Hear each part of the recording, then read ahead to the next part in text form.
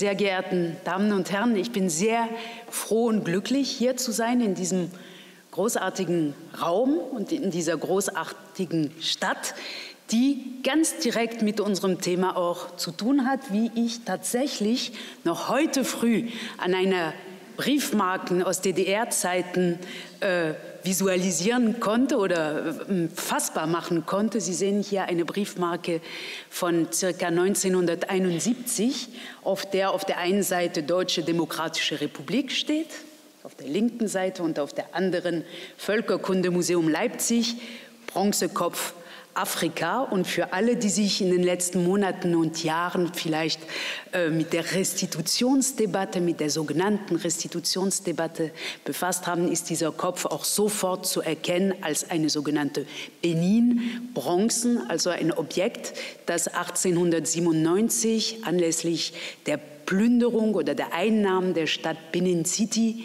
im aktuellen Nigeria nach Europa gebracht wurde, ein Kopf unter Tausenden von Objekten aus dieser Stadt, wo seit dem 13. Jahrhundert äh, Bronzegüsse in großartiger hm, Fertigkeit entstanden sind. Und die haben sich die Engländer, die britische Armee geschnappt, 1897 nach Europa gebracht. Und in Europa wurde, wurden die Benin-Bronzen über den Kunsthandel äh, gehandelt. Was nicht in die britischen Museen kam, kam in großen Mengen nach Deutschland, nach Berlin und eben auch nach Leipzig. Und zu DDR-Zeiten war das wohl so, dass man sehr stolz darauf war. Jedenfalls haben wir hier eine, einen Benin-Kopf, einen nicht besonders gut abgezeichneten, würde ich sagen, aber darüber können wir noch sprechen, auf einer Briefmarke. Es gibt in derselben Zeit auf westdeutscher Seite zum Beispiel Briefmarken mit der Nofretete drauf.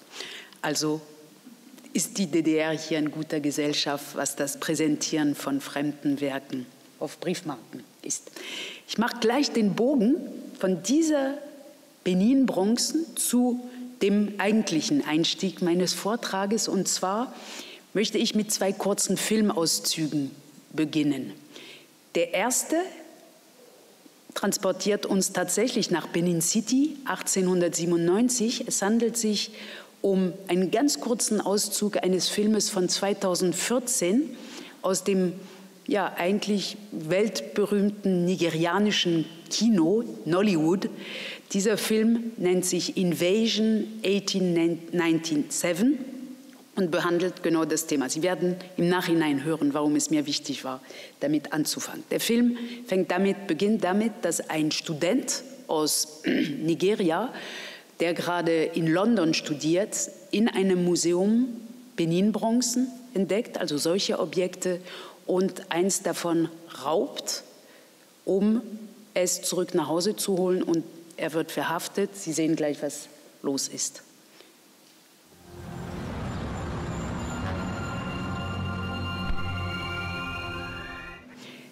Diese Kunstwerke sind meine, sie gehören zu meinem Volk, und dann gibt es eine Rückblende zu den Ereignissen, die dazu geführt haben, dass diese Kunstwerke eben nach Großbritannien geführt wurden. Die Frage, wem gehört Kunst, wem gehören Kulturgüter, wem gehören Artefakte, gerade aus solchen kriegerischen Kontexten in unseren Museen heute ist eine Frage, die nicht nur Afrika betrifft, sondern ganz viele andere Weltregionen, von Ägypten über Griechenland äh, nach äh, der Südsee. Aber wir beschäftigen uns heute nur mit Afrika und Sie werden sehen, dass es auch eine Besonderheit hat.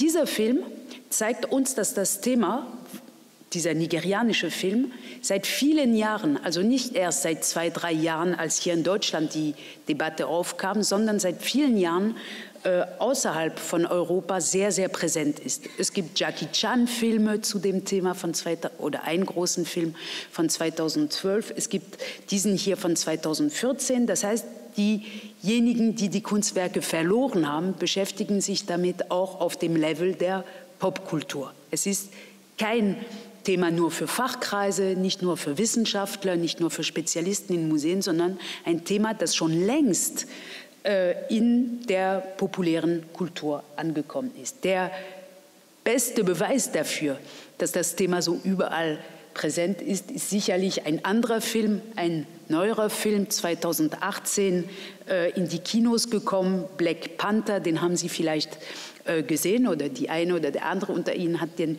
vielleicht gesehen. Dieser ganze Film ist ein sogenannter afrofuturistischer Film. Es geht um einen Science-Fiction-Film um Afrika in der Zukunft und dort äh, in Wakanda, in einem imaginären Land, äh, entsteht eine Gesellschaft, die in der Lage ist, die Welt zu retten. Und die ganze Geschichte dieses Filmes beginnt in einem Museumssaal, in dem Augenblick, wo ein afroamerikanischer Schurke ein Objekt stiehlt aus einem Museum und weil dieses Objekt für ihn in seiner Perspektive, in seinem Kenntnishorizont kein Objekt ist, sondern etwas, was eine große Macht, eine große Energie besitzt, nämlich ähm, Vibranium, das ist das Material, und aus diesem Vibranium kann man die Welt retten. Ich mache es sehr, sehr kurz, gucken Sie sich diesen Film an. Ich zeige Ihnen die Schlüsselszene, die für uns Kunsthistorikerinnen und Kunsthistoriker so wichtig ist, und sie ist auch vielfach kommentiert worden, auch von den größten Denkern, Achille Membe, äh, oder andere große Philosophen aus Afrika haben schon zu dieser Szene Interviews und überhaupt zu diesem Film Interviews äh, gegeben oder Artikel geschrieben. Wir sind also in einem imaginären, imaginären Museum.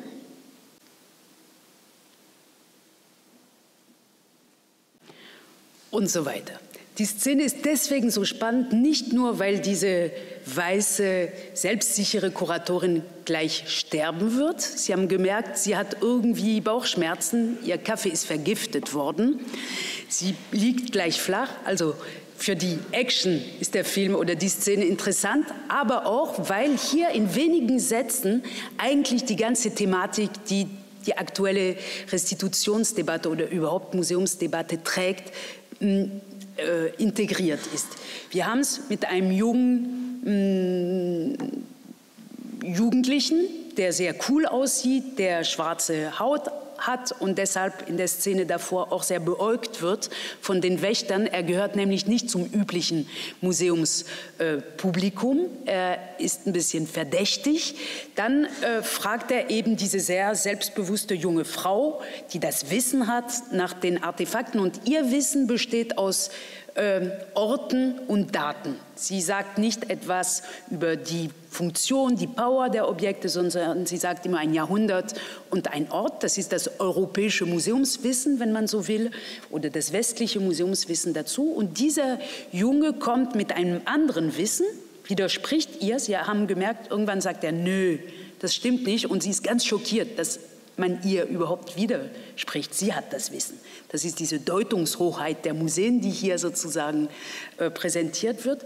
Er kommt mit einem anderen Wissen und sagt, nein, nein, Sie irren, das kommt nicht aus Benin, das kommt aus Wakanda.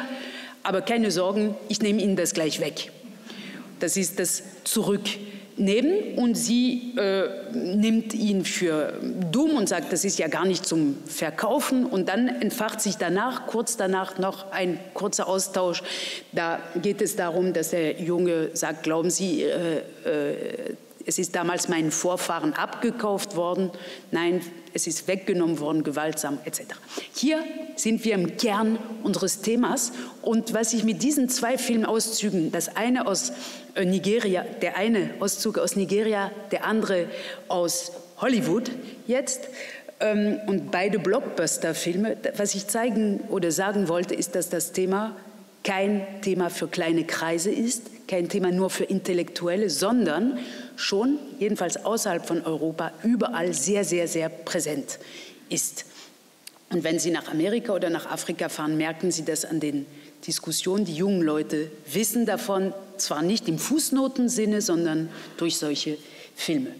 Was ich heute erzählen möchte, sind hm, drei hm, oder gestaltet sich in drei Kapiteln. Diese Kapitel nennen sich Fakten oder historische Fakten oder harte Fakten dann Akteure und drittens Déjà-vu. Sie werden gleich sehen, warum diese Schubladen so heißen. Ich beginne mit den Fakten, mit den rohen Fakten, mit statistischen Daten. Und zwar deswegen, weil in der äh, Debatte der letzten zwei Jahre oft äh, der Eindruck entstehen konnte, dass man sich hm, kapriziert auf diese Kolonialzeit und dass es eigentlich nicht ganz fair wäre. Sie sehen hier ein Interview äh, im Deutschlandfunk im Sommer 2017.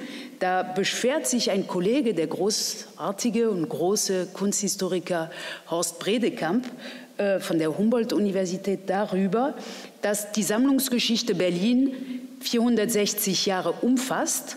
Er sagt dazu, und in diesem Zeitraum hat es in Klammern nur 34 Jahre Kolonialherrschaft gegeben. Es kommt also darauf an, die Besonderheit der Sammlungen, die in Berlin und in Deutschland insgesamt zusammengekommen sind, zu erschließen. Es ist ein Spiel, allein und vornehmlich die Kolonialzeit in den Mittelpunkt zu stellen, und das findet in großem Umfang statt.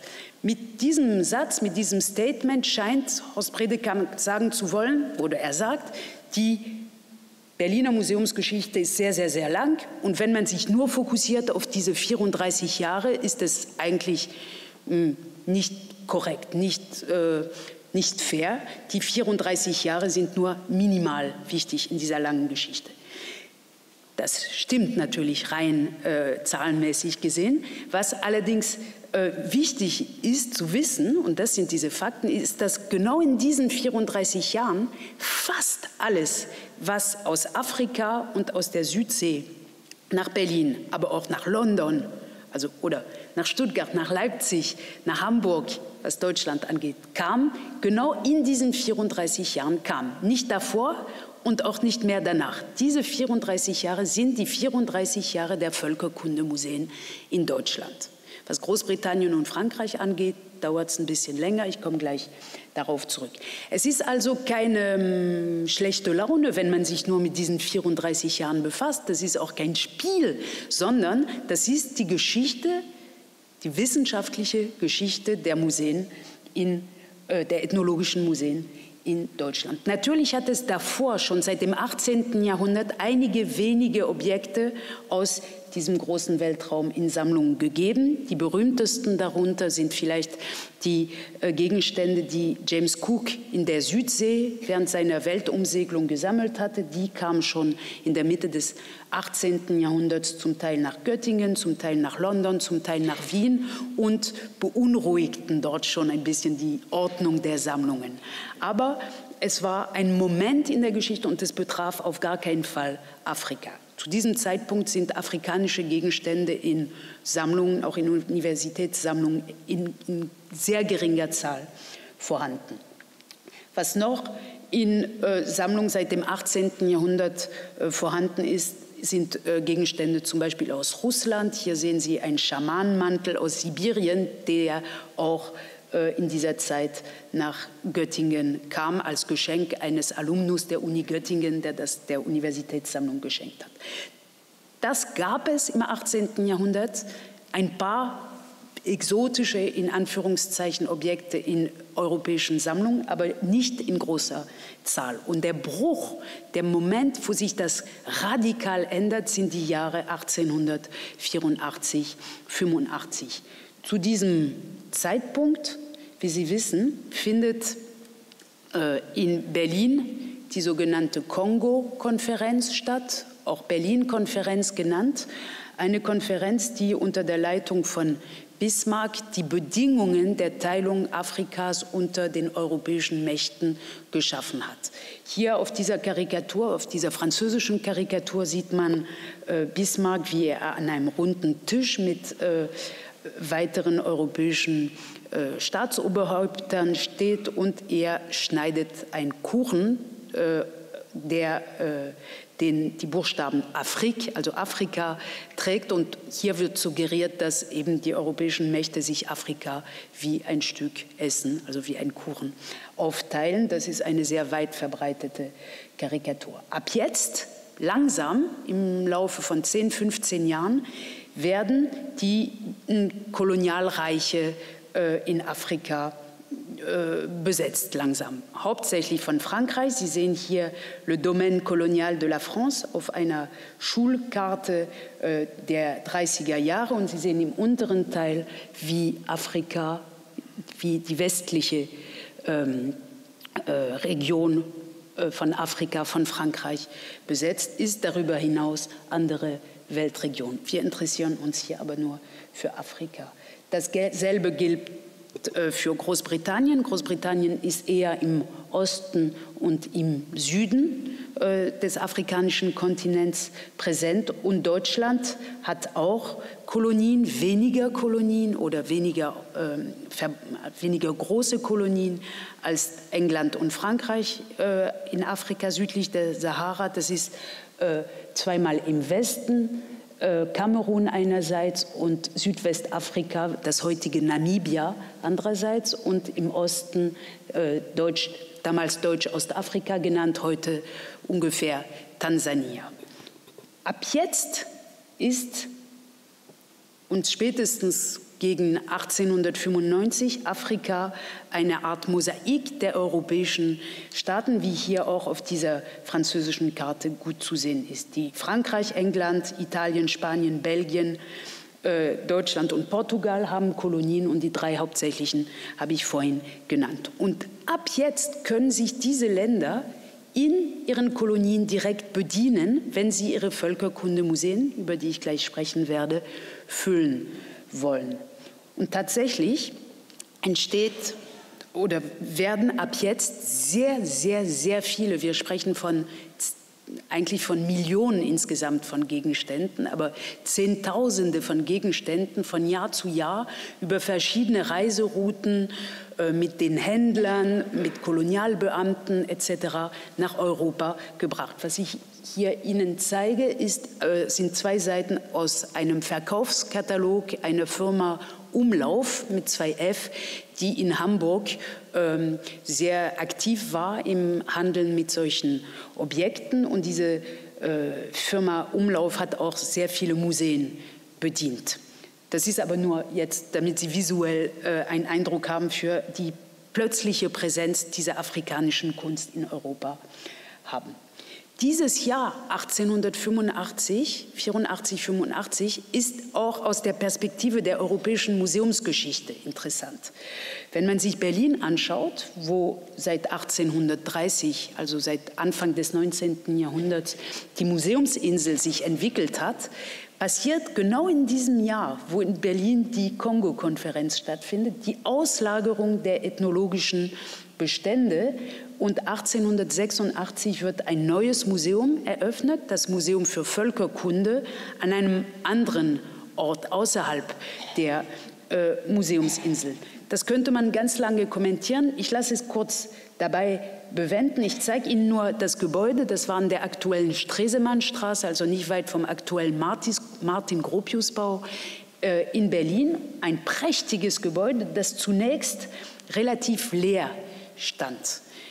Berlin hatte ein Völkerkundemuseum, ab jetzt ein eigenständiges, autonomes Völkerkundemuseum, das es zu füllen galt. Und das, dieses Museum ist der Vorfahre, ist die Wurzel, ist der Sockel, ist der Anfang des äh, Humboldt-Forums, also der ethnologischen Sammlung, die demnächst ins rekonstruierte Hohenzollern-Schloss nach Berlin einziehen soll.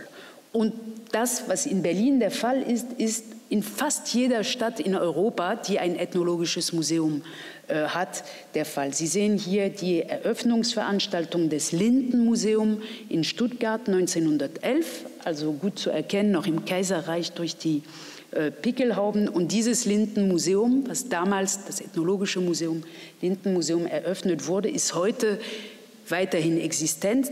Das ist das heutige Lindenmuseum in Stuttgart.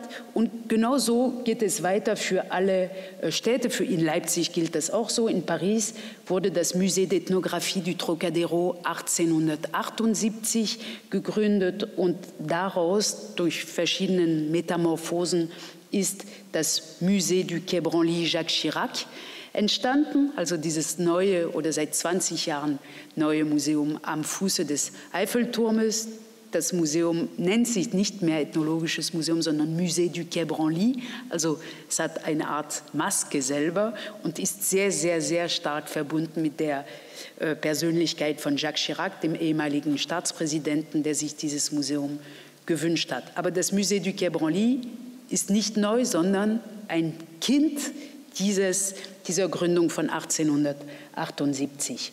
Man könnte das weiter und weiter betreiben. Ein letztes Beispiel wäre oder ist das Musée Colonial in Tervuren bei Brüssel. Das nannte sich Musée Colonial, wie Sie an dieser Postkarte sehen. Das wurde 1897 gegründet und ist vor kurzem nach fünfjähriger Restaurierungs- oder Neukonzipierungsarbeit wieder eröffnet worden.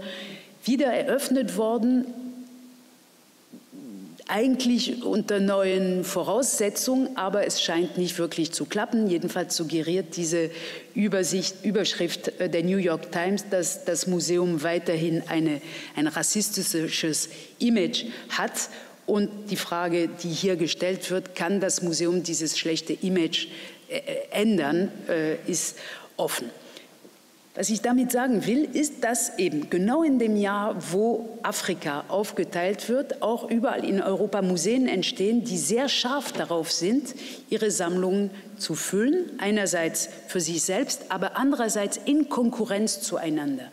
Paris blickt die ganze Zeit auf Berlin und sagt, ah, Berlin hat die größten äh, afrikanischen und ozeanischen Sammlungen, wir müssen nachholen oder wir müssen bessere Budgets haben. Die Deutschen schauen nach London und beschweren sich, dass London mehr hat, etc. Es ist ein äh, Wettkampf zwischen den europäischen ethnologischen Museen und die kleineren Städte, äh, Stuttgart, äh, Hamburg, Leipzig, die gar nicht so viel kleiner sind in ihren Sammlungen, äh, konkurrieren auch um die Wette. In Frankreich sind diese kleineren Städte neben Paris auffälligerweise die Hafenstädte, Le Havre, La Rochelle, äh, Rouen, weil die Schiffe direkt dort hinkommen und Sammlungen da entstehen.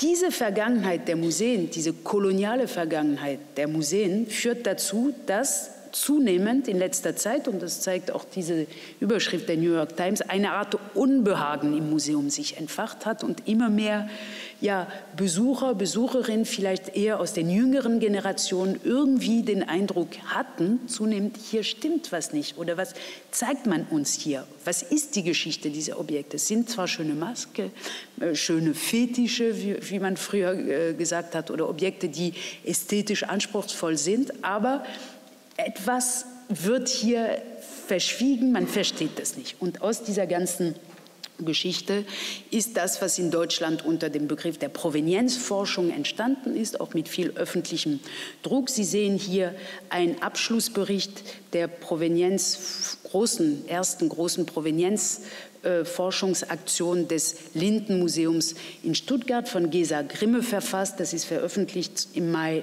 im März 2018.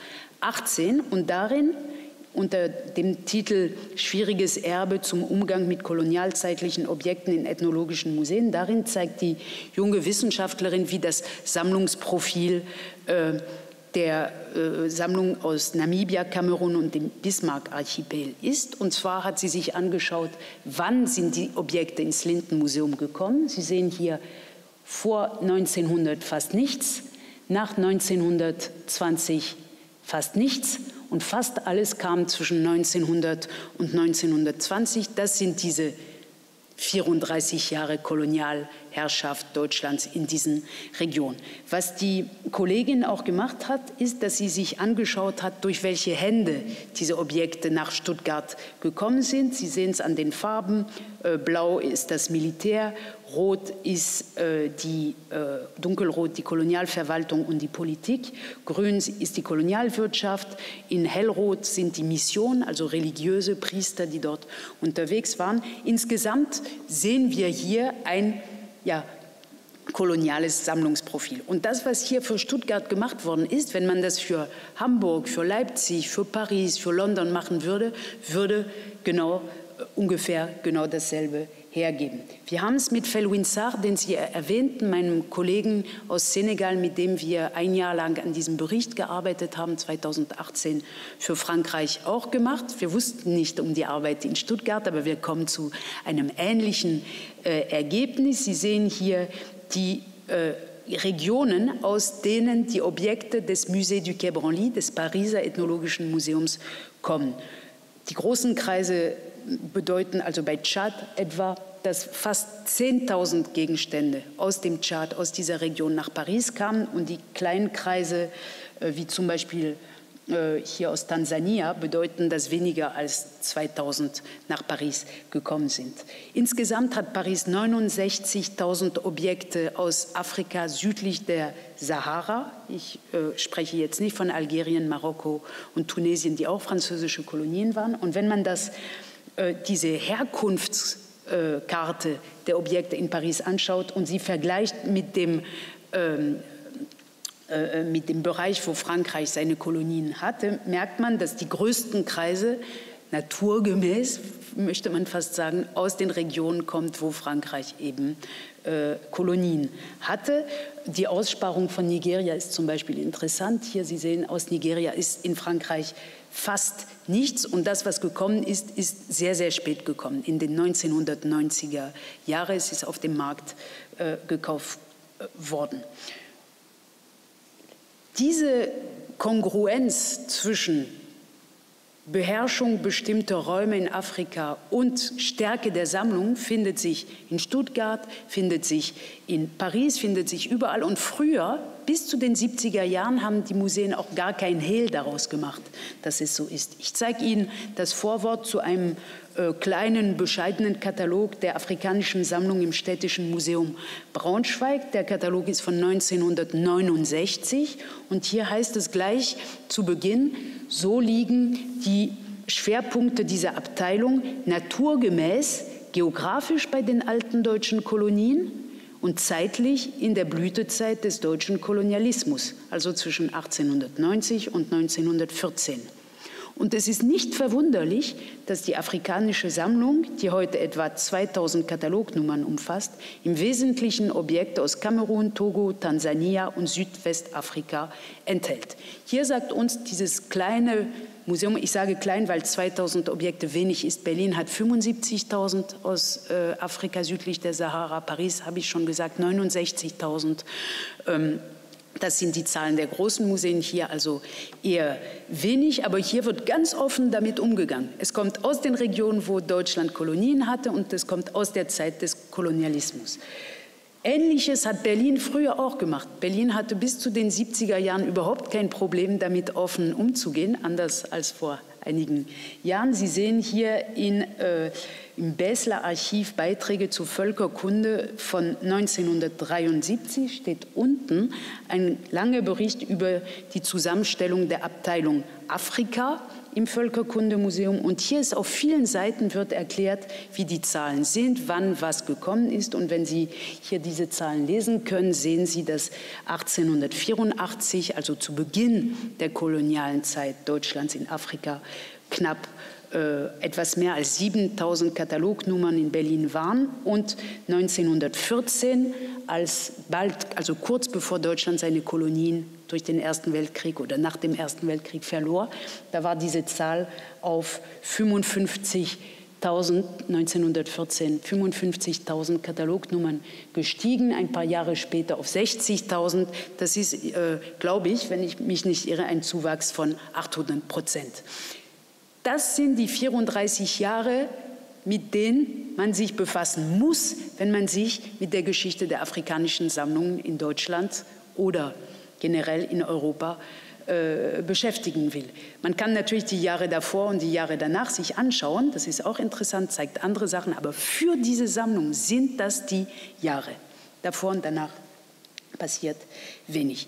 Die Frage, das waren jetzt reine statistische Zahlen, die ich Ihnen gegeben habe und Karten. Die Frage, äh, die mit diesen Zahlen zusammenhängt, ist, wer ist dafür zuständig, dass diese Objekte so zahlreich nach Europa kamen, wie kamen sie und was waren das für Objekte. Ich kann im heutigen Rahmen nicht alle diese Fragen beantworten, aber wenigstens zu der ersten Frage, wer war beteiligt an diesem großen Export, an dieser großen Aneignung des afrikanischen Kulturerbes.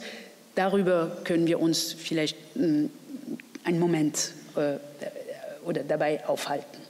Die Akteure, wenn man versucht, sie typologisch zu ordnen, bestehen in der ersten Zeit auf äh, Afrika, aus Afrika reisenden, sogenannten Explorateurs im französischen äh, Sprachgebrauch. Sie sehen hier einen der prominentesten äh, Afrika-Reisenden und Forschern dieser Zeit. Das ist Pierre Savorgnan de Brazza, der die Stadt Brazzaville äh, im Kongo gegründet hat. Sie sehen aber gleichzeitig, dass hier äh, Pierre Savorgnan de Brazza sich als Abenteurer inszeniert in einem Fotostudio. Der Hintergrund ist gemalt.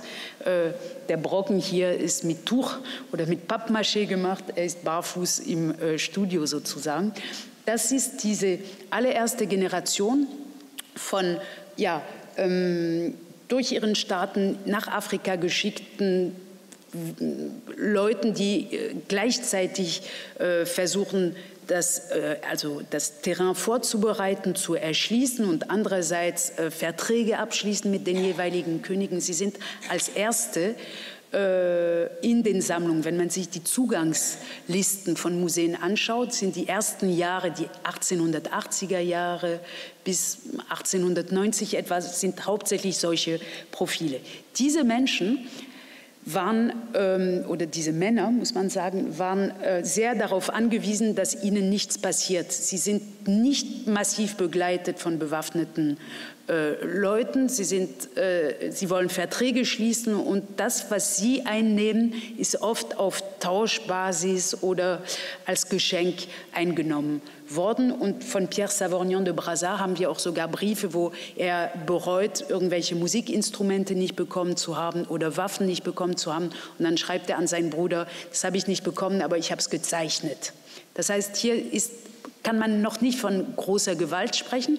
Es sind auch nicht große Zahlen von Gegenständen, äh, die rübergehen. Es hat damit zu tun, dass diese äh, Leute nicht so viel mitschleppen können. Sie erschließen eine Gegend, sie sammeln ein wenig, aber nicht sehr, sehr, sehr viel. Man könnte jetzt ins Detail gehen, das lasse ich erstmal dabei. Also zunächst Abenteurer, Afrika-Reisende, Leute zwischen Wissenschaft und Diplomatie, wenn man das so nennen möchte, die zum Teil auch die Kartografie herstellen von den Regionen.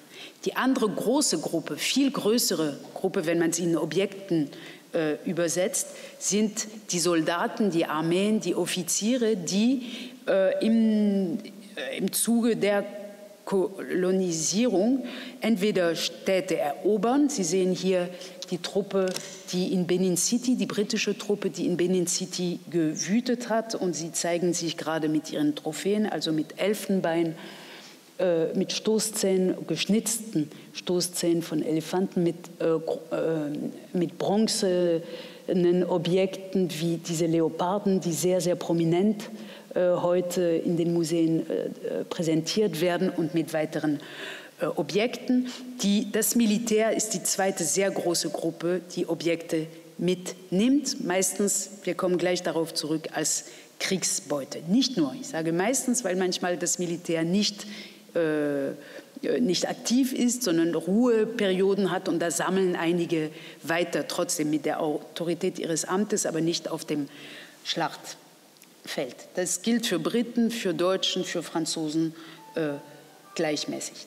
Die dritte Gruppe, wichtige Gruppe, sind die Missionare, also evangelische oder katholische Priester und, und, und Nonnen auch zum Teil, die in Afrika fast unter den ersten da sind und ganz andere Methoden des äh, Herankommens an die Objekte haben. Es ist ein komplexes Feld. Hier kann man sagen, dass äh, wenn Sie die Bevölkerung bekehren, was Sie tun, indem Sie sehr, sehr lange in den Dörfern leben, Sie kommen nicht als Abenteurer nur schnell durch, Sie sind da, sie gründen Familien, sie sprechen die Sprachen, sie haben ein ganz intimes, paternalistisches zum Teil Verhältnis zu den äh, Bevölkerungen. Und wenn es ihnen gelingt, diese Bevölkerung zu bekehren, ist ein Beweis für die Bekehrung, dass diese Bevölkerung ihre alten Götzen, wie man sie nannten, oder Fetische abgibt. Und hier ist, ist es eine ganz, äh, es ist eine Grauzone von freiwilligem Abgeben und Erpressen oder sogar Stehlen manchmal. Da sind die Berichte sehr unterschiedlich. Und das ist eine deswegen so wichtige Gruppe, weil diese Missionare, Sie sehen hier einen solchen, ähm, ein, ein, ein, von der äh, Congregation du Saint-Esprit aus äh, Paris mit einem, äh, mit einem äh, indigenen Vertreter äh, dieser anderen Religion. Er wird als Fetischeur genannt auf der Rückseite der äh, Fotografie. Äh, hier ist es deswegen so wichtig, weil die an andere Objekte rankommen. Sie kommen an Kultobjekte. Das Militär kommt oft an Waffen ran. Äh, die Abenteurer kommen an hm, spektakulären Skulpturen ran, die Missionare kommen an Kraftfiguren ran, an magische Gegenstände, an Objekten, die ganz besonders heilig sind, die ganz besonders schwer zu bekommen sind und sind deswegen auch äh, sehr äh, beliebt von den Museen. Museen kaufen bei Missionaren zum Teil auch ab. Dritte Gruppe. Vierte Gruppe, die Wissenschaftler. Die Wissenschaftler haben einen Vorteil im Vergleich zu den anderen. Sie dokumentieren alles, was sie tun, und zwar meistens sehr, sehr gut. Wir werden gleich darauf zurückkommen. Auf dieser Karteikarte, äh, die äh, heute in der Uni Nanterre bei Paris aufbewahrt wird, sehen Sie, das ist eine Karteikarte der Mission Dakar-Djibouti. Diese Mission war eine riesige Reise, die zwei Jahre gedauert hat, von Westafrika nach Ostafrika. Und dort waren etwa zehn Wissenschaftler zwei Jahre lang unterwegs mit großen Autos. Wir sind in den 30er Jahren und sie haben, äh, manche nennen das Wissenschaftsrazzien. Äh, betrieben. Also sie, haben, sie kamen in ein Dorf, haben die Türen des Autos aufgemacht, so viel wie möglich reingetan, alles dokumentiert und sind zum nächsten Dorf äh, gefahren. Ich komme nachher nochmal zur Mission Dakar-Djibouti. Interessant ist hier, weil die Überschrift das auch sagt, dass wir sehen, oder wir sehen es schlecht, aber ich erzähle Ihnen das, glauben Sie mir, wir sehen den Chef der Mission, Marcel Griol, auf einer Leiter und er kratzt gerade mit einer Spachtel Wandmalereien einer Kirche bei Gonda in Äthiopien ab. Er hat insgesamt mit seinem Team 60 Quadratmeter Wandmalerei in einer christlichen Kirche abgekratzt, die heute im Musée du Quai Branly in so einem Raum dargestellt äh, sind.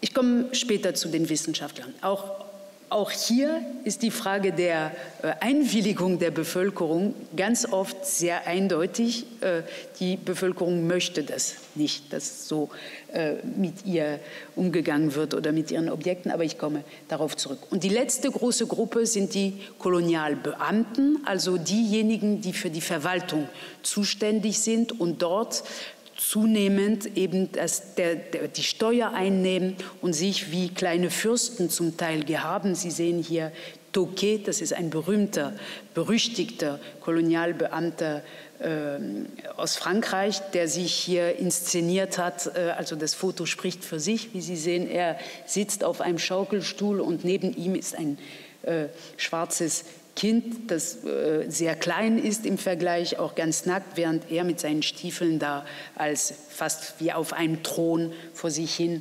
schaukelt, mit auch seiner Krone.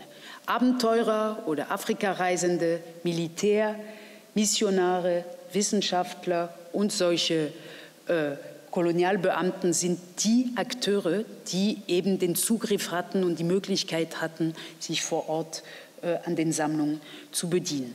Und im Hintergrund, 5000 Kilometer davon entfernt, sitzen in Paris, in London, in Stuttgart, in Berlin, in Leipzig die Museen, Museumsleute, die eine Art Fernsteuerung betreiben.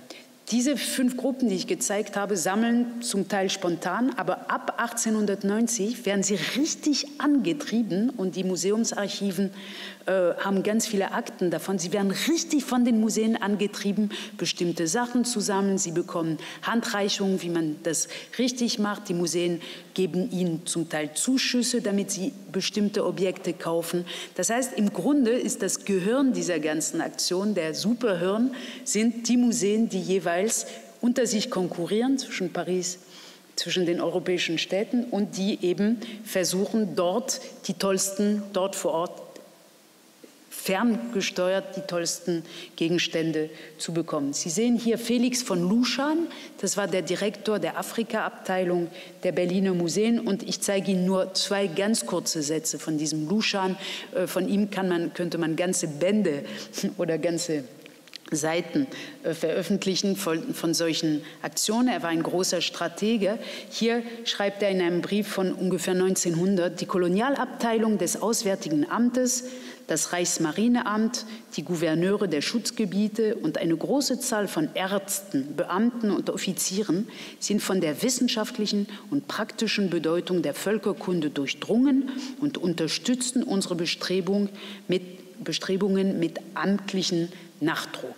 Hier sehen wir, wie, sehen wir, wie die gesamte, äh, das gesamte koloniale System im Dienste des Museums äh, arbeitet und die Museen mh, hm, bedient. Jedenfalls wird das so dargestellt oder hilft. Die Museen hilft, den Museen hilft, sie unterstützt. So wird das jedenfalls hier dargestellt. An einer anderen Stelle, es ist es sind nur zwei kleine Beispiele, äh, freut sich Felix von Luschan enorm, dass einer von seinen Studenten äh, mitgeht mit, äh, zur Armee. Er schreibt, dazu kommt noch, dass einer meiner gegenwärtigen Hörer, Leutnant von Arnim, sich einer neuen großen Strafexpedition gegen die Ngolo, streng secret, anschließen wird. Wir können uns also auf ganz brillante Dinge gefasst machen. Herr von Arnim ist genau informiert, was wir brauchen und wird bemüht sein, etwas ganz Ordentliches zu leisten. Die Kosten werden dabei vermutlich gleich null sein. Leutnant von Arnim ist eine Nummer unter ganz, ganz, ganz vielen. Dieser Luschan war, hatte wirklich ein ganzes Netz von Personen, die für ihn gesammelt haben. Auch übrigens äh, Schädel, seine große Spezialität, menschliche Überreste. Es ist nicht nur eine deutsche Spezialität. Anderen Städten und Staaten Europas wurden Schädel genau gleichzeitig wie ethnologische Objekte äh, gesammelt. Und Luschan war, ich würde sagen, im Vergleich mit seinen Kollegen in Paris und London, war der effektivste im Netzwerken. Die deutschen Museen hatten auch das meiste Geld in dieser Zeit, konnten richtig äh, äh, arbeiten und äh, eben in dem Fall freut er sich, dass die Kosten gleich null sind. In anderen Fällen bezahlt er für die Objekte, die er bestellt, auch äh, Gegenleistung.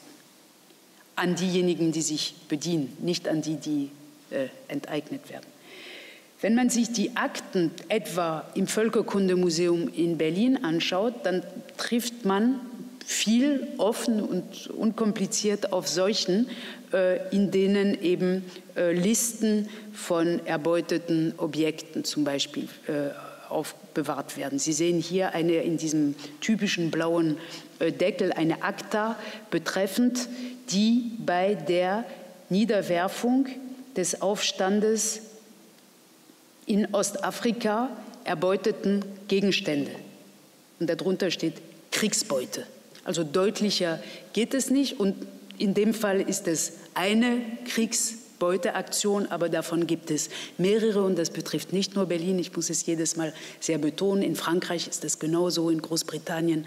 Wenn Sie nach Oxford ins Pitt Rivers Museum gehen, finden Sie genau solche Akten. Ich habe jetzt nur deutsche Beispiele, weil es für uns einfacher ist. Ein weiteres Beispiel aus Stuttgart, äh, das von ähm, Gesa Grimme publiziert wurde, ein Verzeichnis von Objekten aus dem Museum Linden, Museum Stuttgart. Hier steht auch gleich zu Beginn römisch I, Kriegsbeute, eindeutiger geht es nicht. Wenn die Kollegen in den Museen in den letzten Jahren oder einige Kollegen, die meisten wissen ganz genau, äh, wie ihre Sammlungen äh, zusammengekommen sind. Aber wenn manche sagen, nein, es klebt nicht überall Blut dran oder äh, es ist doch nicht alles geklaut worden oder es ist nicht alles erbeutet worden, es stimmt nicht alles, aber sehr viel. Und die Archive sind voll davon. Das ist, ein, das ist keine Glaubenssache, das ist keine Interpretationssache, das ist historische Materie, das ist historisches Material.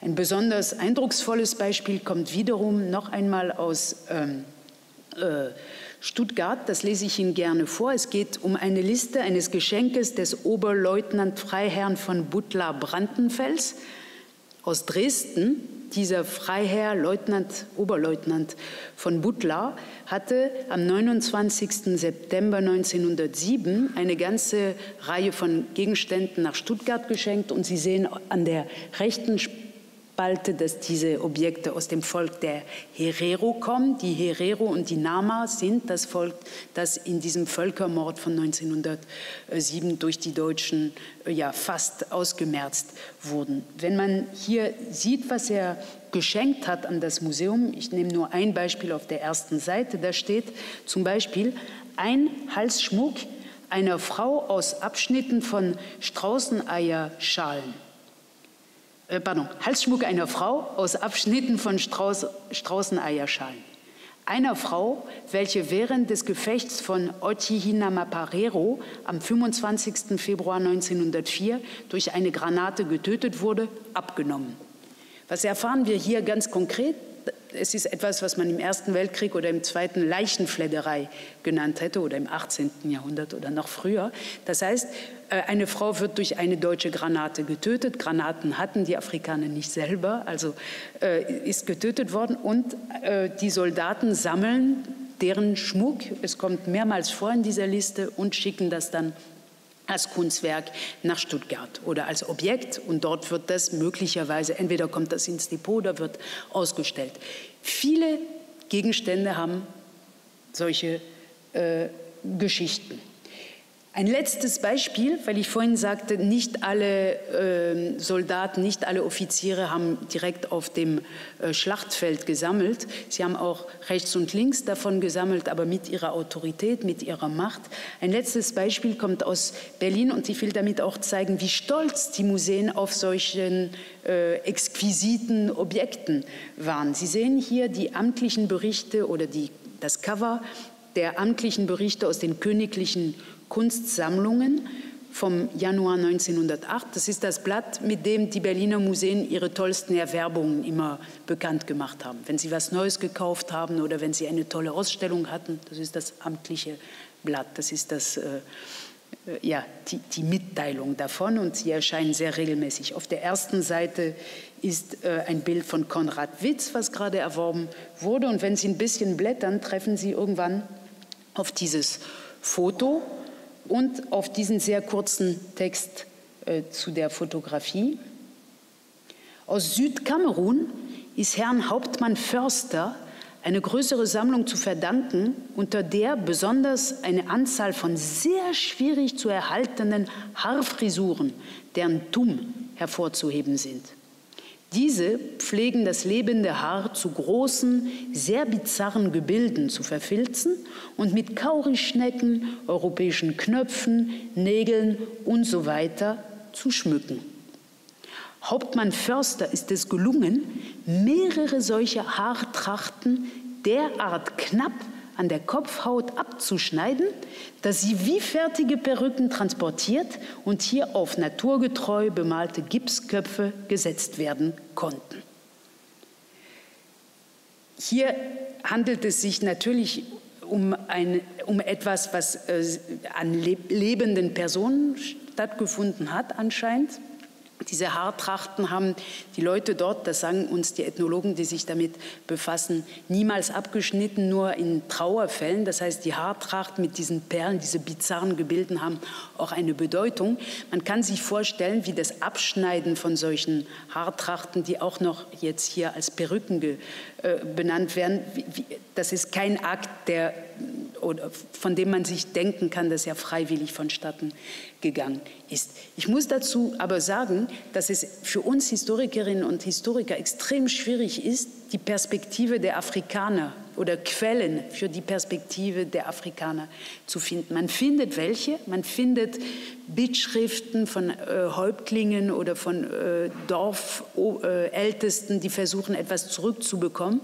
So etwas findet sich in den Archiven, aber im Grunde ist die Erfahrung des Verlustes keine Erfahrung, die sehr viel Produktion von äh, Quellen hergibt. Das kenne ich auch aus der Zeit, als Napoleon in Deutschland hier aus, ausgelehrt hat, die Sammlung konfiziert hat.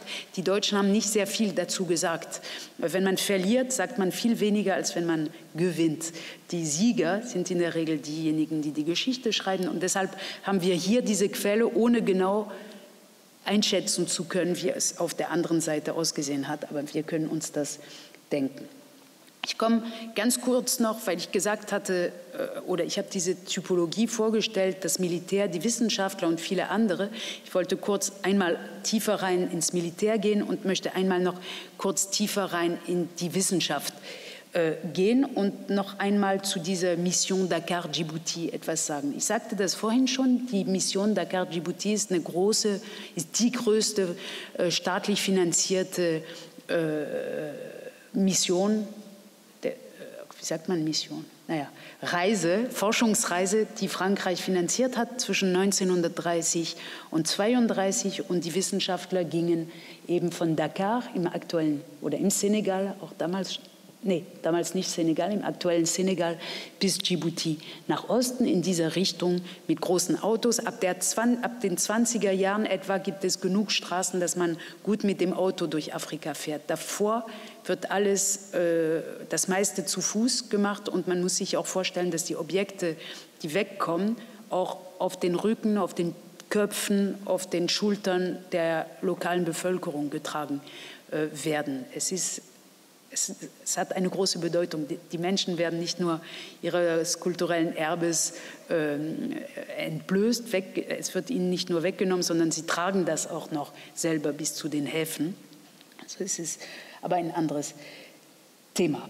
Im Laufe dieser äh, Mission oder der Sekretär dieser Mission war ein junger Mann, damals 30 Jahre alt, Michel Leris, Leiris geschrieben, der später ein berühmter Schriftsteller geworden ist. Das war einer seiner ersten Jobs. Er sollte immer alles dokumentieren und äh, hat gleich nach der Rückkehr einen Bericht geschrieben, der für uns deswegen interessant ist, weil er ziemlich genau die Methoden äh, beschreibt, die diese Wissenschaftler angewandt haben, und zwar mit Entsetzen. Er war entsetzt über die Art und Weise, wie er arbeiten musste. Und äh, es ist deswegen eine tolle Quelle, weil sein Chef, Marcel Griol auch viel über diese Methoden geschrieben haben, aber im stolzen Sinne. Das heißt, wir haben den stolzen Chef, der erklärt, wie er an die tollen Objekte gekommen ist, und wir haben den äh, Sekretär, der äh, dieselben Methoden beschreibt, aber entsetzt ist. Und daraus ergibt sich, dass die Methoden, die beschrieben werden, wahrscheinlich tatsächlich solche waren. Michel Leris hat dieses äh, diesen Bericht gleich nach seiner Rückkehr veröffentlicht, Phantom Afrika. Das wird gerade neu, das erscheint demnächst auf Deutsch in einer neuen Übersetzung, in einer sehr guten deutschen neuen Übersetzung. In diesem Phantom Afrika beschreibt Michel Leris unter anderem folgende Szene. Das Buch hat ihm ganz viel Ärger eingebracht, weil er viel zu transparent mit diesen Methoden oder zu kritisch mit diesen Methoden umgegangen ist. Ich habe hier diesen berühmten Auszug auf Französisch auf der äh, rechten Seite äh, eingeblendet, aber ich habe eine ungefähre Übersetzung auch dabei. Es geht darum, dass die Wissenschaftler versuchen, ein Kono, das ist ein heiliges Objekt, so etwa so groß, auch Boli genannt, wenn Sie nach Mali fahren, nach Bamako oder nach Paris übrigens, sehen Sie solche Objekte. Sind, die sehen aus wie Tiere, sind ungefähr, haben die Form eines Tieres und ähm, ich zeige es auch gleich nachher, und waren so heilig, dass nur bestimmte Menschen in den Dörfern sie sehen durften. Es ist bis heute so, wenn Frauen oder Kinder sie gesehen haben, hieß es, würden sie sterben. Also es war extrem wichtig, dass diese Objekte nicht gesehen werden. Und das wollen die Wissenschaftler ganz besonders gerne haben. Überhaupt wollen sie gerne immer alles haben, was versteckt ist. Verstecktes Wissen, versteckte Objekte ähm, etc. Ich lese Ihnen kurz vor. Griol, also der Chef der Mission, ließ den Dorfvorsteher wissen, dass er, der Dorfvorsteher, da wir definitiv äh, ausgelacht, eigentlich wäre die bessere Übersetzung verarscht werden, also die äh, leisten Widerstand in diesem Dorf, da wir ja verarscht werden, als Vergeltung den Kono gegen zehn Franken übergeben müsse, Sonst würde die Polizei, angeblich im Lastwagen versteckt, den Dorfvorsteher und die Dorfältesten nach San bringen, wo sie sich der Verwaltung würden erklären müssen. Da hinten steht in der französischen Fassung, habe ich vergessen zu übersetzen, affreux chantage, entsetzliche Erpressung. Also wird erzählt, entweder sie geben uns den Kono gegen 10 Franken oder äh, die Polizei ist im Lastwagen versteckt, was nicht stimmt, und sie werden Schwierigkeiten haben. Griol und ich bitten die Männer, den Kono zu holen. Alle weigern sich. Wir gehen also selbst dorthin packen den heiligen Gegenstand in die Plane, sie haben sich eine Plane, um das zu verstecken, organisiert und gehen hinaus wie Diebe, während der in Panik geratene Dorfälteste flieht und in einiger Entfernung seine Frau und Kinder mit einem großen Stock in eine Hütte, in eine Hütte schlägt. Wir durchqueren das Dorf, das völlig verlassen ist, und erreichen in tödlicher Stille die Fahrzeuge. Die zehn Francs werden dem Häuptling gegeben und wir gehen in Eile mitten im allgemeinen Staunen und umgeben mit einer Aura besonders mächtiger und mutiger Dämonen oder Bastarden. Das französische Wort ist äh, au milieu de l'ébahissement général et paré d'une auréole de démons ou de salauds particulièrement puissants et osés. Salauds sind äh, ja Bastarde oder auch Arschlöcher, würde man eigentlich übersetzen. Das heißt, er beschreibt sich selbst hier an dieser Stelle als Dieb, als jemand, der etwas ganz Schlimmes gemacht hat und er beschreibt das Entsetzen, was diese Aktion mit sich gebracht hat. Und das ist nur eine Stelle unter vielen in diesem äh, Bericht. Das ist ein Kono, es ist ungefähr so groß und Natürlich, wie bei allen anderen Objekten, hat Leris aufgeschrieben, was er äh, erfahren, in Erfahrung bringen konnte über diesen Kono. Er macht eine kleine Skizze, das ist so ein, eine, eine der Tausenden von Notizzetteln, die er verfasst hat und die heute im Archiv in Paris aufbewahrt werden. Auch der Text ist extrem interessant, den haben wir aber keine richtige Zeit, um uns damit auseinanderzusetzen. Die Objekte, die, die 3000 Gegenstände, die die Mission Dakar Djibouti nach Paris geholt hat, wurden dann im äh, Musée de l'Homme ausgestellt äh, in dieser Art. Und das Musée de l'Homme war eine der Vorgängerinstitutionen des Musée du Quai Branly. Also hier eine wissenschaftliche, ganz klare Präsentation von Objekten, aber die Geschichte, wie die Wissenschaftler an diese Objekte gekommen sind, gehört eben äh, dazu. Ich komme zum Schluss und zu dem, was mich eigentlich momentan am meisten interessiert. Die Tatsache, dass wir eine Art koloniale Amnesie haben, wenn wir unsere Sammlungen betreffen, dass wir vergessen haben, äh, wie die Objekte zu uns gekommen sind. Das war vor zwei Jahren so, vielleicht noch vor einem Jahr. Inzwischen, jedenfalls im deutschsprachigen Raum, wissen alle ungefähr Bescheid, dass diese Objekte nicht eines Nachts mit einem Helikopter geliefert wurden, sondern dass es diese Vorgeschichten gibt. Das war für uns alle neu. Wir haben uns das alle erarbeitet, aber jetzt weiß das in Deutschland ungefähr, also jeder, der einen Fernseher hat oder Nachrichten guckt.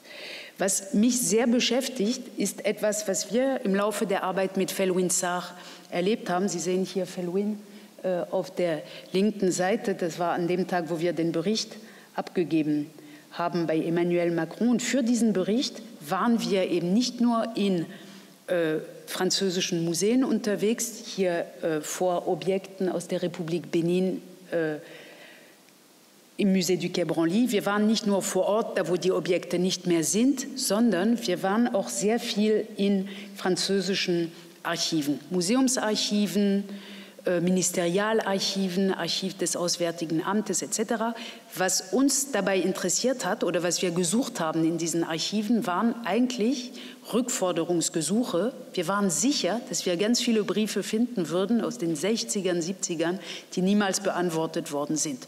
Das war unsere Hypothese. Wir haben danach gesucht und unser Plan war, also bevor wir angefangen hatten, war zu sagen, dass Emmanuel Macron oder dass die erste Geste wäre, diese Briefe nach 30 Jahren eben endlich zu beantworten. Also haben wir gesucht, aber wir haben wenig Briefe gefunden solcher Art. Was wir gefunden haben, und das war ein, ein, ein Moment des, äh, ja, des Schocks, waren eben, und das ist hier ein Tisch, auf dem, oder wo wir alles aufgebreitet, ausgebreitet hatten im Musée du Quai Branly, wir haben festgestellt, dass die Debatte, die wir jetzt führen, die Restitutionsdebatte, das Projekt Objekte zurückzugeben, wie Emmanuel Macron das formuliert hatte, dass es das alles schon einmal gegeben hat, und zwar in den 70er Jahren. Sie sehen hier äh, das Cover der Zeitschrift Museum mit dem Titel Retour et Restitution de Biens Culturels. Das ist eine Ausgabe von 1979. Sie sehen lauter äh, Zeitungsartikel, Berichte, Briefe, Korrespondenzen, sehr, sehr viel. Und das hat mich ganz persönlich fertig gemacht. Ich dachte, wie kann es sein, dass wir heute 2018 komplett vergessen haben, dass es diese Debatte schon einmal gegeben hat. Und seit dem Ende der Arbeit mit Felwin ähm, habe ich mich sehr äh, damit beschäftigt, auch in deutschen Archiven zu schauen, was war diese Debatte und warum haben wir sie vergessen. Sie sehen, der Höhepunkt der Debatte oder der politischen Bewegung von damals war, dass 1981 Formulare gedruckt wurden, Standardformulare äh, für Restitutionsgesuche, Formulaire type pour les demandes de retour ou de restitution. Das hatte die UNESCO vorbereitet. Das waren so Fly große Flyer, also in DIN A4-Format mit äh, so Leporello-mäßig. Und da konnten sie als Staat, als Nigeria, als Senegal etc. ausfüllen, was sie zurückbekommen wollen und warum. Das heißt, wir, waren, wir standen damals als Europa kurz davor da, äh, vor Rückgaben oder Restitutionen. Es war alles vorbereitet. Wir haben diese Formulare allerdings nur im leeren Zustand gefunden und es ist eben nicht weitergegangen. Und das hat mich sehr neugierig gemacht also das Scheitern macht mich neugierig und das Vergessen dieser ganzen Episode macht mich auch sehr neugierig. Zumal, wie sich herausstellte in Archiven, die Debatte zwar in Frankreich lief, in Großbritannien, aber hauptsächlich in Deutschland. Sie sehen hier an einem äh, Aus, äh, Auszug eines Artikels von 1976 in Englisch, dass die Debatte eine deutsche Debatte war. 1976, also vor über 40 Jahren. Und tatsächlich, wenn Sie anfangen hier zu forschen in Zeitungsarchiven und in verschiedenen Archiven, finden Sie so Hinweise wie hier in der Frankfurter Allgemeinen Zeitung vom 18. Mai 1979, erster Satz. Seit etwa sechs Jahren geht ein Gespenst um in europäischen Museen, kurz Restitution genannt also eine Anlehnung an Karl Marx. Es geht ein Gespenst um in Europa, war eigentlich der Kommunismus. Hier ist es Restitution. Und wir erfahren im Jahr 1979, dass das Ganze schon seit mindestens sechs Jahren läuft. Das heißt, es gab in dieser Zeit eine so intensive Debatte, der Artikel ist eine ganze FAZ-Seite äh, groß, ganz intensive Debatte über, über das, was wir jetzt auch noch einmal äh, machen. Nicht nur in der Presse, nicht nur in den äh, Amtsstuben von Museumsdirektorinnen und Direktoren, sondern sogar im großen Fernsehen, sowohl in Frankreich als auch hier in Westdeutschland, und ich spreche auch gleich nachher von der DDR, äh, liefen Sendungen, hier im ZDF eine Sendung, die drei Stunden dauert, mit 14 Gästen, eine Podiumsdiskussion. Ähm, ich zeige Ihnen nur ganz kurz, wie das Setting war. Die wurde gedreht in Bremen im Überseemuseum. Ich glaube, die nächste Folie zeigt ein wenig, wie das so war. Also äh, sieben Leute und zwei Moderatoren unten auf einem Podium und äh, sechs weitere oben. Und diese äh, Gäste waren äh, Juristen, UNESCO-Vertreter, Kolonialhistoriker, Helmut Blei, er lebt noch, äh, eine Museumsdirektorin aus ähm, Dänemark und sogar hier ein Sozialpsychologe. Das sind genau die Kategorien, bis auf der Sozialpsychologe, die werden heutzutage nicht mehr gefragt, komischerweise, aber die sollten sich jetzt einbringen, äh, die eben zu dieser Frage äh, ja, äh, diskutiert haben. Die Sendung dauert, also die heißt fünf vor zehn hieß die Sendung und die war Open End. Und in dem Fall dauert sie über drei Stunden. Am Ende gähnen alle. Und die Statements von all diesen Experten sind so wertvoll, weil sie viel klüger sind als alles, was wir heute lesen oder sagen. Die, und, wir, und das ist für uns ein Schock zu merken, oder für mich jedenfalls, dass vor 40 Jahren die Debatte eigentlich weiter war, besser war, reifer war und äh, auch eben ganz europäisch war. In französischen Medien finde ich ähnliche Sachen. Das ist sozusagen die Medienöffentlichkeit oder die große Öffentlichkeit des Themas damals. Wenn man in die Archive geht und versucht zu verstehen, warum es damals diese große Debatte gab, dann stellt man fest, zum Beispiel im politischen Archiv des Auswärtigen Amtes in Berlin, wo netterweise alles versammelt ist, das Auswärtige Amt sammelt äh, oder bekommt Briefe von der UNO, bekommt also hier wie äh, diese wichtigen Stellungnahmen der UNO und der UNESCO, aber auch direkt Anfragen, zum Beispiel hier aus dem, äh, aus dem Amt für Antik, für, aus dem Altertumsamt von Lagos in Nigeria, ein direkter Brief, der nach, an die Bundesrepublik äh, gibt ging oder aber auch Briefe, die äh, hier mit diesem roten Rahmen immer gut zu erkennen in den Stapeln, Briefe, die vom Bundesministerium an die jeweiligen Museen gingen. Es gab damals in der Bundesrepublik kein Kultus, kein BKM, kein Kulturministerium, deswegen war das Innenministerium zuständig. Hier trifft sich alles und da treffen sich auch die Antworten der Museen oder die Stellungnahmen, die Lobbyarbeit der Museen. Und aus solchen Akten kann man die gesamte politische Diskussion gut rekonstruieren und auch rekonstruieren, woran es geblockt hat oder wer, welche Strukturen, wer dafür gesorgt hat, dass es nicht weiter äh, gekommen ist. Ich mache es nur ganz, ganz kurz, indem ich vier Jahreszahlen nenne. 1930 geht es aus europäischer Perspektive los mit einer ersten Stellungnahme der äh, UNO. Dann gibt es einen nächsten Höhepunkt in diesen Akten, das sind Stapeln von Akten. Also die großen Jahre sind 73, dann 76 mit einer UNESCO-Konferenz in Venedig, dann 79 mit einem öffentlichen Appell des UNESCO-General Sekretärs. Und die zwei Hauptkräfte, die das antreiben, die das wollen, sind einerseits Amadou Maktar Mbo, ein senegalesischer äh, Professor, der Generaldirektor der UNESCO war, und andererseits Ekpo Eyo, das war der Chef der Altertums äh, in Nigeria. Das heißt, die Fragen kommen aus Afrika. Es ist nicht so, dass die europäischen Staaten irgendwann denken in den 70ern, ach, äh, nach 68 könnten wir jetzt endlich nett sein und zurückgeben. Das ist ein ganz starker Druck aus Afrika, um diese Objekte zurückhaben zu wollen. Und wie ich vorhin sagte, war um 1981, 82 es fast so weit, dass Restitutionen stattgefunden hätten.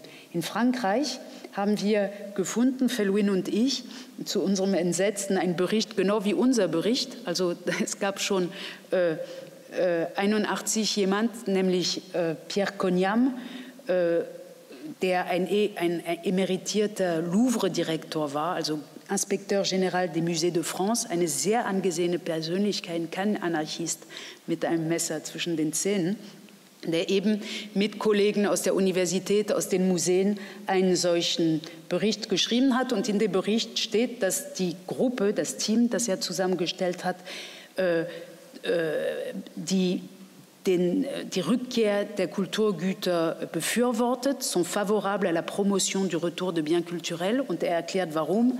Parce que, parce que, parce que. Und ein Grund ist, dass die denken, dieses, diese Arbeitsgruppe, dass äh, die Rückkehr der Kulturgüter, le retour de biens culturels, est un acte de solidarité autant que d'équité. Also ein Akt der Solidarität und der Fairness den afrikanischen Staaten gegenüber. Das ist das, was in Frankreich passierte. Also ein hoch angesehener Museumsbeamter spricht sich für Restitution aus in einem ganz öffentlichen Bericht. In Deutschland, in Westdeutschland, in der Bundesrepublik war es Hildegard Hambrücher, auch keine Anarchistin mit äh, Blutflecken äh, an den Händen, die äh, 1982 äh, angekündigt hat, öffentlich hier in der Süddeutschen Zeitung, dass es durchaus denkbar sei, dass aus Anlass des 100. Jahrestags der Unterschreibung der Schutzverträge mit den ehemaligen deutschen Kolonien Togo und Kamerun in Afrika 1984 Kulturgüter zurückgegeben würden, sagte Frau Hambrücher. Das heißt, zum 100-jährigen 100 100 Jubiläum der Berlin-Konferenz Sie erinnern sich, 1884, also 1984, sollten, sagt sie zwei Tage vorher, Objekte oder es sei denkbar, Objekte zurückzugeben. Auch hier geschah es nicht. Hildegard Hambrücher ist abgesetzt worden, dadurch, dass Helmut Kohl kam. Es gab einen Regierungskoalitionswechsel. Das interessiert uns nicht so sehr, jedenfalls sowohl in Frankreich aus anderen Gründen als auch in Deutschland blockte das Projekt. In der DDR, und das finde ich genauso spannend, auch deswegen, weil es noch mehr vergessen ist als äh, das, was sowieso in der Bundesrepublik auch in den 70er Jahren war. In der DDR war es so, dass durch die Politik der blockfreien Staaten die DDR sehr gute Beziehungen zu Nigeria hatte und eine Ausstellung hat stattfinden lassen, eine Gastausstellung aus Nigeria im Pergamon-Museum gezeigt hat.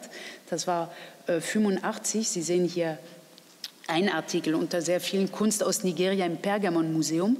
Und interessanterweise war das genau das, wovon uns die Museumsverantwortlichen, zum Beispiel des Humboldt-Forum, immer äh, erzählen, nämlich ein, eine Ausstellung auf Augenhöhe. In dem Fall war Augenhöhe schon Realität in den 80ern in Berlin auf der Museumsinsel, denn da kam Nigeria mit dem Angebot, wir zeigen eine Ausstellung bei euch und die Berliner Museumsbeamten haben alles getan und das zeigen auch die Akten dazu, damit es ein gutes, schönes äh, Ergebnis hat und die Nigerianer hatten Forderungen. Also zum Beispiel hieß es in manchen Briefen, wir werden die Ausstellung, sagen die Nigerianer, nicht eröffnen, wenn der Katalog nicht fertig gedruckt ist. Und dann sehen wir die ganzen Briefen der Museumsleute in Berlin, die sagen, oh, oh Gott, wie schaffen wir das so schnell, das Papier etc. zu organisieren? Aber die schaffen das. Das heißt, da, dadurch, dass Nigeria eine kleine Sammlung oder einen Bestand hatte, das es zeigen konnte, äh, war eben diese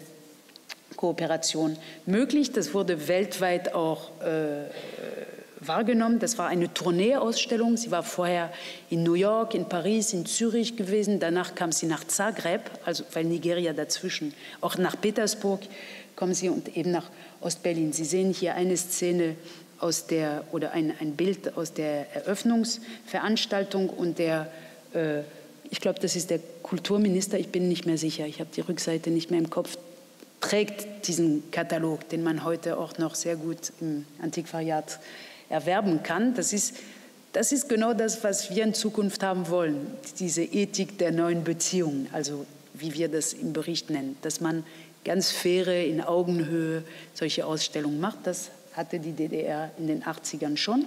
Und wenn man sich die Briefwechsel an, am Rande der Ausstellung anschaut, dann stellt man fest, dass die Strategie von Nigeria, von Ekpo Eyo, den ich vorhin gezeigt habe, war, eben durch diese Ausstellung am Rande immer über Restitution zu sprechen. Er wollte, und zwar seit den frühen 70er, dass die ehemaligen Kolonialstaaten einige Stücke zurückgeben nach Lagos, damit sein Museum in Lagos etwas größer wird. Er hatte einen Grundstock, aber er wollte etwas mehr. Und hier sehen Sie in einem Brief, dass zum Beispiel heißt es hier, ein gemeinsamer Standpunkt zu der von Ekpo Eyo angeschnittenen Frage Restitution wird gegenwärtig zwischen dem Ministerium für Kultur, Kollege Göbel Leipzig, er war im, hier im Völkerkundemuseum, und uns, also Berlin, erarbeitet. Und auch hier verläuft sich das im Sand oder wir, ich finde momentan nicht, wo es weiter äh, geht. Zum Schluss noch ein Element oder eine ganz kleine äh, Vermutung, warum es damals blockiert hat oder warum es nicht weitergegangen ist. Oder ein Teil des Grundes.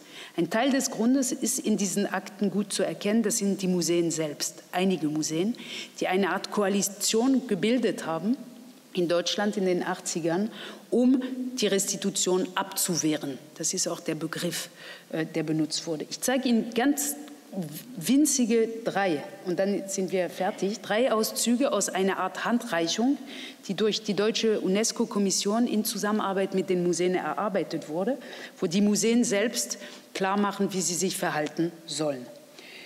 Sie schlagen vor, dass man das Wort Restitution nicht benutzt. Ich lese ganz kurz vor, da eine Rechtspflicht zur Rückgabe nach den bestehenden Gesetzen nicht vorliegt, muss der Begriff Restitution abgewehrt werden. Sonst entsteht dadurch der Eindruck juristisch unsauberen Erwerbs. Der Begriff Restitution, Rückgabe muss so weit gefasst werden, dass keine moralische Verpflichtung zu erkennen ist. Dies ist der Ausgangspunkt jeder weiteren Erörterung. In die Diskussion um einen neuen Begriff wurde Transfer eingebracht. Heute wird Transfer nicht mehr benutzt, sondern Kooperation, Zirkulation und, Zirkula und Restitution wurde ganz, ganz lange komplett vermieden. Jetzt, und in Frankreich ist es noch schwierig. Aber das war etwas, was mit dem Vokabular zu tun hat. Restitution ist moralisch gefärbt, also lieber nicht. Zweiter Punkt, Emotionalität. Trotz der für die Bundesrepublik Deutschland eindeutigen Rechtssituation in der Frage der Rückführung von Kulturgütern ist damit zu rechnen, dass ein öffentlicher bzw. moralischer Druck auf unsere Museen zukommen wird. Die Länder der dritten Welt sind entschlossen, ihr Kulturgut wieder zu erlangen und daheim zu präsentieren. Dies ist ein weitgehend emotionaler Vorgang, der nicht gesteuert werden kann. Und danach kommt der Hinweis, dass eben jede Emotionalität im Gespräch vermieden werden soll und stattdessen immer auf juristische Ebene gesprochen werden soll, ob etwas legal oder illegal gekommen ist. Interessanterweise kommt die Emotionalität durch den öffentlichen durch die Öffentlichkeit, ähm, die eben hier als Feind auch sozusagen dargestellt wird. Und das Letzte, was mich ganz besonders interessiert, ist in der Rubrik Objektverzeichnisse äh, zu finden. Objektverzeichnisse, zweiter Punkt. Vor der Erstellung solcher Listen wird sowohl von Seiten unserer Völkerkundemuseen als auch der Kulturverwaltungen gewarnt. So würden Begehrlichkeiten erst recht geweckt. Also Intransparenz als Prinzip. Und das ist der Grund, warum heute in Deutschland, anders als in Frankreich, Großbritannien oder anderen europäischen Ländern, es keine öffentlich zugänglichen Museumsbestandslisten gibt. Ich habe vorhin erzählt, bis zu den 70ern sind die Museen sehr offen damit umgegangen. Ab der 70er, und das hängt damit zusammen, erzählen sie einfach nichts mehr. Wenn sie Kataloge suchen, sind es Informationen suchen, sind es sehr oft Kataloge aus vor äh, den 80er Jahren. Und das ist äh, ja, der Grund, warum ich jetzt, wenn ich versuche, eine Haltung für die Gegenwart als Historikerin oder für die Zukunft äh, mir zu erarbeiten oder wir uns, die wir daran arbeiten, äh, scheint uns wichtig zu sein, genau an diesem Begriff der Restitution festzuhalten, weil der eben diese ganze historische Dimension mit sich trägt, die Emotionen ernst zu nehmen, die mit diesem ähm, Themenkomplex zusammenhängen und sehr, sehr, sehr wichtig, die Transparenz der Bestände und der historischen Zusammenhänge äh, zu fordern, einzufordern. Und da äh, sind die Museen noch nicht so locker dabei. Sie wollen lieber ihre Informationen für sich behalten und das wird wahrscheinlich noch etwas dauern, bis sie einsehen, dass diese Taktik oder diese Abwehrmethode nicht mehr zeitgemäß ist ist. Ich bedanke mich sehr herzlich für Ihre Aufmerksamkeit und Ihre Geduld und beende eben mit dieser Briefmarke, äh, die bestimmt weitere Forschung ähm, äh, hart. Vielen Dank.